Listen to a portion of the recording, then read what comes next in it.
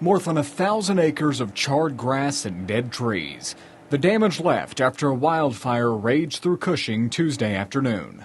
It was very devastating and very sad. It was scary. I was like calling my family because we actually have family that lives over that way. Law enforcement closed roads. Neighbors had to leave their homes. Cushing residents could only hope Chief Dalton Novotny's crews could get it under control. It could have been worse. We could have lost lives, could have lost structures. It, it could have been worse. It all started here near East Otsego and Schlegel. It only got bigger and bigger. Chief Novotny immediately called for help. I'm just very proud of all the fire departments that responded. They were excellent in their response and willingness to get in there and do, do a hard, tough job. Nearly two dozen agencies helped Cushing authorities control the fire. Novotny says it took them about 12 hours to get the flames under control. Now it's over.